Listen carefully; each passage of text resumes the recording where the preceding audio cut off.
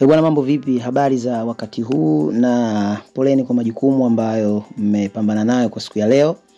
Mimi naitwa Mr. House Decoration na kazi yangu mimi ni kuhakikisha wewe unaishi mahala pazuri na penye kupendeza. Sasa leo nina lamani ya vyumba vitatu ambayo ni lamani ipo complete, ina sitting room, ina dining, ina kitchen, ina toilet public, ina store, yani nyumba ambayo imekamilika na nimeifanyia quotation ama valuation kuanzia kwenye msingi mpaka kwenye kupaua. Kwa hiyo usikatishe video katikati, endelea nayo ili uweze kujua bajeti nzima ya hii nyumba pindi ukitaka kujenga uwe na shilingi ngapi. Lakini pia ni nyumba fulani ambayo inachukua eneo la mita kumi na sita kwa kumi na tatu kwa maana tukiweka kwenye siku ya mita ni siku ya mita mia mbili na nane. Kwa hiyo ukiwa na ukubwa wa kiwanja labda cha ishirini kwa ishirini mita, maana yake nyumba inaweza ikakaa na ukapata fence na ukapata na sehemu ya kupaki gari mbili tatu ndogo. Kwa hiyo kwa watu ambao waliokuwa na chini labda viwanja cha 15 kwa 15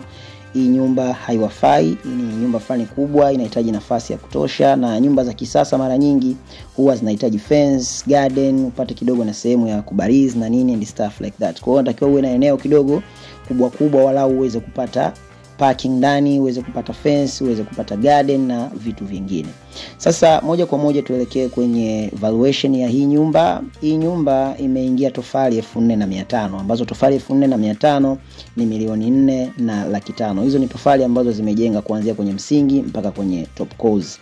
Lakini pia tuna mifuko ya simenti ambayo tumetumia mifuko ya simenti tisini na sita kwa hiyo na mfuko mmoja wa simenti sasa hivi ni shilingi elfu kumi na saba na mia tano. Kwa hiyo ukifanya tisini na sita mara elfu kumi na saba na mia tano ni milioni moja laki sita na elfu themanini. Lakini pia tumetumia nondo ambazo ni milimita kumi na mbili na nondo zimeingia sitini na sita. Kwa hiyo ukichukua sitini na sita mara elfu ishirini na tatu ni milioni moja laki tano na elfu themanini. Ni milioni moja laki tano na elfu kumi na nane.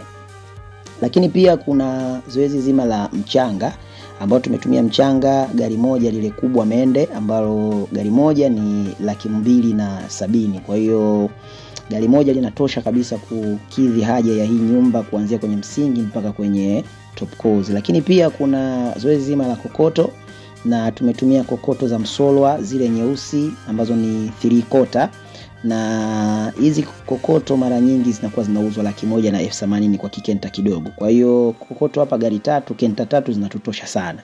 Kwa hiyo tukifanya laki na themanini mara tatu ni laki tano na elfu arobaini. Lakini pia tuna accessories kama misumari na vitu vingine na vingine. Kwa hivyo vitu vyote siwezi kuviweka, kwa hiyo nimeitenga nime, nime milioni moja na laki moja kwa ajili ya misumari, binding wire, ringi, mbao za kukodi na nini and stuff like that. Kwa hiyo nimepata milioni moja na laki moja. Lakini pia kuna gharama za ufundi ambazo ni milioni mbili na laki nane. Hii ni nyumba nomo sana, ni nyumba ambayo haina changamoto, labda sio hidden roof. Nyumba za hidden roof zinakuwa kidogo zina gharama hata kwa sisi mafundi, lakini ukutana na nyumba ya sampuli hii kidogo inakuwa hata kwenye ufundi inapoa. Kwa ufundi ni milioni mbili na laki nane mpaka milioni tatu mpaka milioni tatu laki mbili itacheza humo, lakini mimi nimeiwekea shilingi milioni mbili na laki nane ambayo nikiwekea milioni mbili na laki nane nikijumlisha na idadi ya matiri yoyote inakuwa milioni kumi na mbili laki nne na elfu nane. Kwa hiyo hii nyumba ili uweze kuijenga kuanzia kwenye msingi mpaka kwenye top course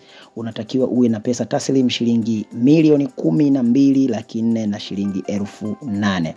Hiyo ni katika zoezi tu la kujenga, lakini tukija kwenye kupaua idadi ya material ya kupaua tumetumia mbao za 2x2 pisi mia thelathini ambazo 2x2 moja sasa hivi za dawa ni shilingi elfu tatu na mia tano ambazo ukifanya elfu tatu mia tano mara mia na thelathini inakuwa laki nne na elfu hamsini na tano. Lakini pia tuna 2x4 ambayo tumetumia pisi mia themanini na nne. Na 2x4 sasa hivi ni shilingi elfu saba. Kwao ukichukua elfu saba mara mia themanini na nne inakuwa ni milioni moja laki mbili na elfu themanini na nane. Lakini pia tuna mbao za 1 by 8 ambazo tumetumia pisi 15 na hizi ni kwa ajili ya fisherboard ambazo sasa hivi mbao ya 1 by 10 ni shilingi elfu kumi na saba. Kwa hiyo ukichukua elfu kumi na saba mara kumi na tano ni laki mbili na elfu hamsini na tano. Lakini pia tuna bati ambayo tumetumia bati za futi kumi ambazo tumetumia pisi mia na kumi na tano. Hii nyumba ni kubwa kama nilivyosema, kwao hata idadi ya bati zinaingia nyingi sana, na ni moja ya changamoto. Watu wengi huwa wanajenga nyumba kubwa alafu baadaye zinawashinda. Nyumba ukijenga kubwa, hakikisha wewe unajiweza, kwa sababu huko juu utakuja utapasuka na gharama zinakuwa kubwa za bati na nini. Kwa hiyo ukiwa unajenga nyumba kubwa, jiandae kisaikolojia kwamba huko juu utakuja kupasuka sana kwenye swala zima la mabati. Kwa kama hii nyumba ni kubwa, nyumba mabati ya nyumba nzima yameingia pisi mia na kumi na tano ambazo bati za harafu sasa hivi zile quality za migongo mipana ni shilingi elfu thelathini na tatu kitu kama hicho nadhani. Kwa hiyo ukichukua thelathini na tatu mara mia na kumi na tano inakuwa milioni tatu laki saba na elfu tisini na tano mpaka hapo tunakuwa tumemaliza, lakini pia kuna accessories hapo, kuna mba, kuna, mba, kuna misumari, kuna kenchi waya na vitu vidogo vidogo ambavyo mimi nimetenga shilingi laki nne kwa ajili ya hizo accessories.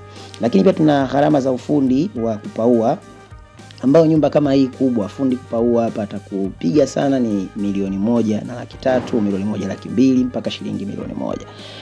Kwa hiyo ukipiga hesabu nzima ya kupaua pamoja na gharama za ufundi na hiyo laki nne ya accessories unapata shilingi milioni saba laki nne na elfu tisini na tatu.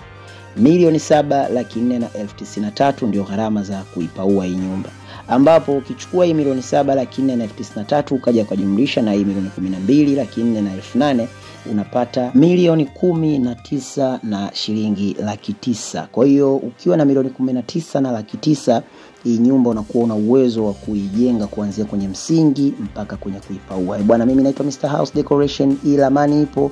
Ukihitaji namba zangu za WhatsApp hizo hapo, screenshot niambie, bwana, nahitaji lamani, tufanye biashara, deal iwe dani. Mwisho wa video usisahau kusubscribe, kulike na kucomment.